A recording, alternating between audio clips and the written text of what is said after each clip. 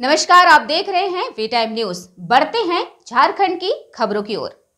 गुलजार बाग में खलारी, सुपन समाज का सत्रहवां स्थापना दिवस बुधवार को झारखंड प्रदेश सुपन समाज के प्रदेश अध्यक्ष रतन लाल की अध्यक्षता में मनाया गया।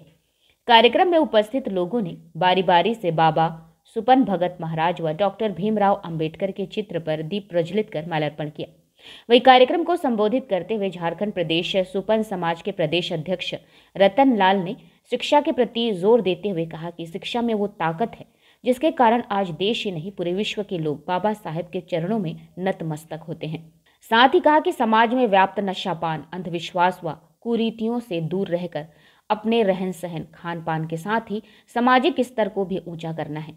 इस दौरान खलारी सुपन समाज के लोगों ने समाज के गरीब बच्चों को बेहतर शिक्षा दिलाने और गरीब बेटियों की शादी में हर संभव सहयोग करने का संकल्प भी लिया। कार्यक्रम को समाज प्रमुख असरफी राम प्रखंड अध्यक्ष संजय राम, महासचिव भोला राम, उपाध्यक्ष जीवन राम, अंबिका राम आदि लोगों ने भी संबोधित करते हुए समाज को शिक्षित व संगठित करने पर बल दिया। झारखंड के सुपन समाज को हम लोग यह संदेश दे रहे हैं कि भाई खलारी समाज सत्रह सालों से एकजुट है।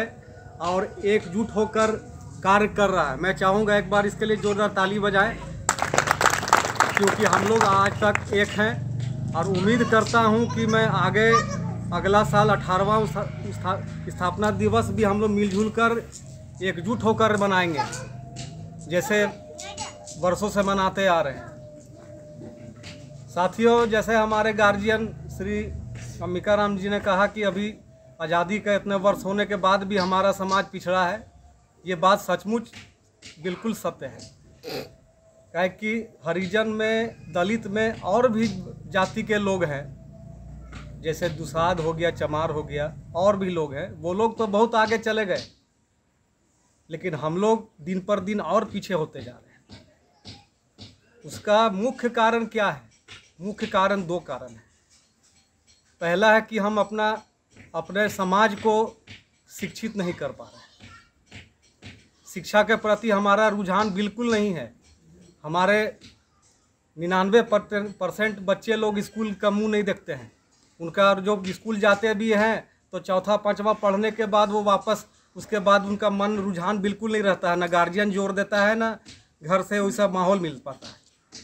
तो शिक्षा जब तक हम लोग शिक्षित नहीं होंगे और शिक्षा को नहीं आगे हमारा पास कुछ नहीं है, हमारे पास ना पूंजी है, ना पैरवी है, ना किसी तरह का कोई साधन नहीं है। हमारा सिर्फ़ एक साथ जो बाबा साहब ने हमको दे के गया है, आरक्षण है, और एक शिक्षा का अधिकार है। अगर हम शिक्षा को अपनाते हैं और शिक्षा को आगे लेकर चलते हैं तो शिक्षा में वो बल है कि हम बड़े बड़े महारथी के तरह आगे बढ़ सकते हैं। विडाम न्यूज़ के लिए खलारी से मनोज प्रसाद की रिपोर्ट।